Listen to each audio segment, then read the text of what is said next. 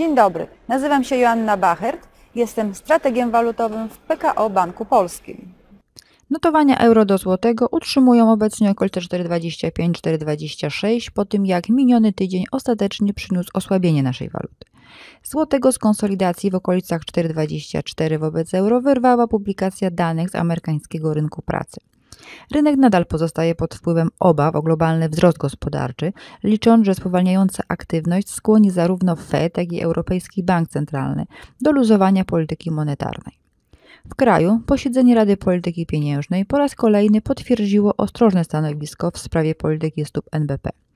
Ponieważ nadal nie ma podstaw do tego, aby Rada szybko zmieniła swój stabilny pogląd na stopy procentowe, jej spotkania decyzyjne już od dłuższego czasu nie wpływają znacząco na złotego. Podobnie było w zeszłym tygodniu, kiedy prezes Adam Glapiński podtrzymał dotychczasowe oczekiwania, że stopy NBP prawdopodobnie pozostaną na niezmienionym poziomie do końca 2021 roku.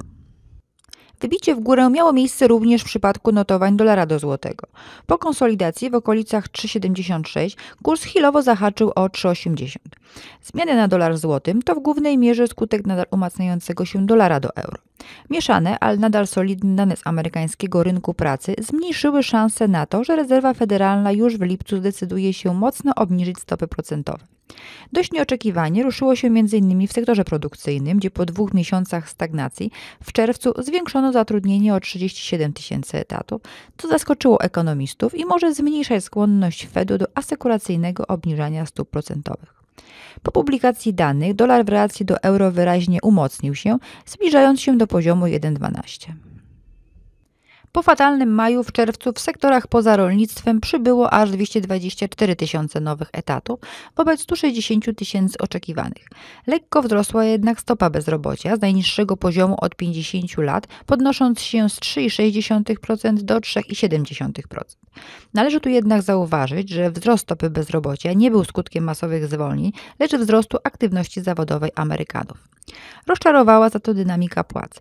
Przeciętna stawka godzinowa wzrosła tylko o 0,2% w skali miesiąca i była o 3,1% wyższa niż przed rokiem. Nie można jednak powiedzieć, że dane są słabe, a zaskakujący NFP na pewno sprowadził na ziemię tych uczestników rynku, którzy liczyli na mocne obniżki stóp w Stanach w tym roku. O lipcowych 50 punktach zapewne już zapominając.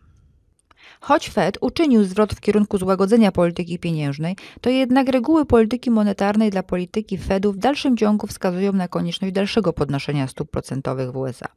Niemniej, jeśli spojrzy się na nie jak na wskaźniki koniunktury, wówczas można zauważyć, że w ostatnich kwartałach wykazują tendencje spadkowe.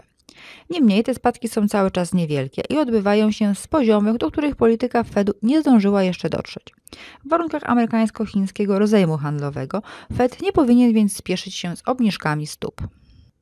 Tak jak już wspomniałam, na nastroje na krajowym rynku walutowym niewielki wpływ miało posiedzenie decyzyjne Rady Polityki Pieniężnej. W kraju inflacja w cenach konsumenta nadal pozostaje w dopuszczalnym dla celu banku centralnego przedziale wahań. Niemniej od początku roku indeks CPI rośnie. Jak pokazał wstępny szacunek GUS, w czerwcu osiągnął on poziom 2,6% w skali roku. Dla Rady Polityki Pieniężnej jest to jednak nadal ograniczona presja inflacyjna w horyzoncie prognozy NBP pozwalająca utrzymać ceny blisko celu banku centralnego. Jak zauważyliśmy w wydanym w ubiegłym tygodniu kwartalniku walutowym, wraz z łagodnym stanowiskiem Europejskiego Banku Centralnego w kwestii zacieśniania polityki monetarnej w strefie euro, brak wyraźnej presji inflacyjnej w kraju będzie wpływać na stabilne stanowisko NBP dotyczące polityki stóp procentowych w trzecim kwartale 2019 roku i utrzymywać złotego pod dominującym wpływem zmian sytuacji na rynkach globalnych. W tym tygodniu rynek uwagę zwracać będzie na wydźwięk protokołu z ostatniego posiedzenia Fedu i odczyt inflacji z USA w kontekście perspektyw polityki monetarnej w Stanach Zjednoczonych. Jak już wspomniałam, Fed szykuje się do obniżenia stóp procentowych w tym roku, stąd rynki będą obserwować, na ile silnie członkowie FOMC mogą być zdecydowani działać w krótkim okresie. W tym kontekście warto będzie zatrzymać się na środowo-czwartkowym przesłuchaniu prezesa Powella w Senacie, jak również zwrócić uwagę, w jakim tonie wypowiadać się będą inni członkowie Fedu. Ostatnie komentarze przedstawicieli amerykańskiego banku centralnego wskazywały, że większość z nich będzie głosować za jedną lub maksymalnie dwoma obniżkami stóp w tym roku, w zależności od dalszego zachowania się ścieżki inflacji. Jeśli czerwcowa inflacja spadnie mocniej niż oczekuje tego rynek, dane mogą podsycać oczekiwania na szybkie obniżki stóp przez Fed, ograniczając przecenę złotego.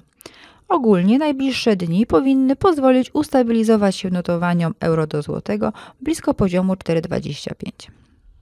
Dziękuję za uwagę, mówiła Joanna Bachert, strateg rynku walutowego w PKO Banku Polskim.